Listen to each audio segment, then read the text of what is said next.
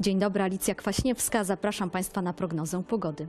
Wyż z nad Skandynawii umacnia się i rozbudowuje, obejmując swoim zasięgiem obszar niemal całego kraju. Jedynie południowo-wschodnia część Polski pozostanie pod wpływem niżu z nad Węgier i Słowacji. Taki układ powoduje, że z nad Arktyki płynie do nas mroźne, zimne powietrze.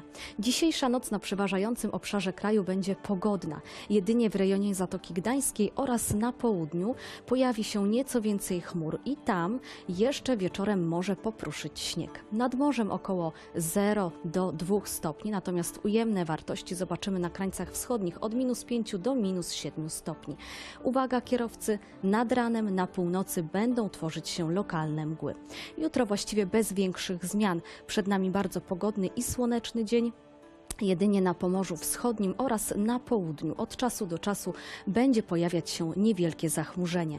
Nad morzem od 2 do 3 stopni powyżej zera, a na wschodzie nadal ujemne wartości. Tam minus 1, minus 2 stopnie. Również w naszym regionie dzisiaj wieczorem będzie pogodnie, w nocy również pogodnie, bezchmurne niebo, ale chłodno. Na termometrach od minus 2 do minus 4 stopni. Lokalnie może być jeszcze zimniej.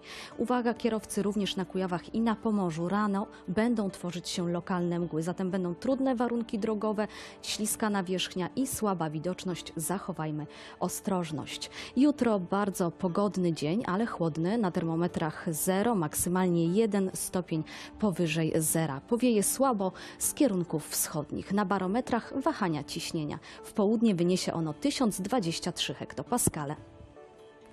W czwartek nadal pogodnie, w nocy temperatura spadnie do minus 4, minus 5 stopni, lokalnie może być jeszcze zimniej. W ciągu dnia minus 1, minus 2 stopnie. W piątek pogodnej aury ciąg dalszy. W nocy kolejne spadki temperatur. Minus 5, minus 6, lokalnie jeszcze chłodniej. W ciągu dnia minus 1, minus 2. W sobotę nieco więcej chmur. Rano mogą pojawić się opady deszczu i śniegu. W nocy jeszcze chłodniej. Minus 7, minus 8 stopni. No i w ciągu dnia również ujemne wartości na termometrach. Trzymajmy się zatem ciepło i zapraszam Państwa na kolejną prognozę pogody. Do zobaczenia.